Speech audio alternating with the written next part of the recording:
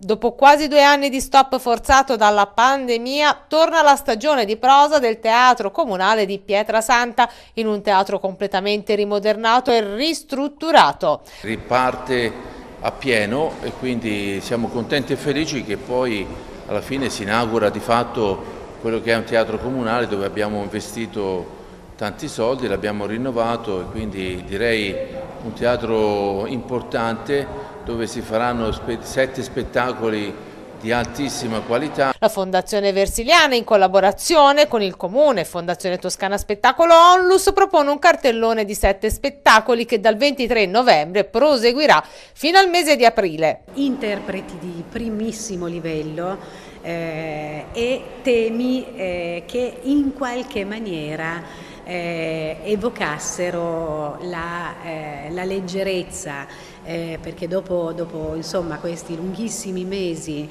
di sospensione del teatro, della socialità, eh, della condivisione, c'è bisogno anche di questo.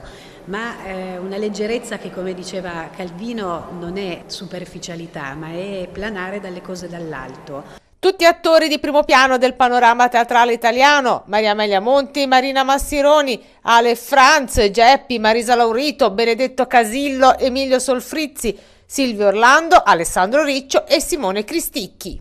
l'obiettivo è quello che noi abbiamo lasciato l'ultima volta, che avevamo 260 abbonati, che credo che sia stato il massimo che ha avuto il teatro comunale. Raggiungere questo obiettivo sarebbe già la prima vittoria, ma sono sicuro che raggiungeremo comunque un bello obiettivo.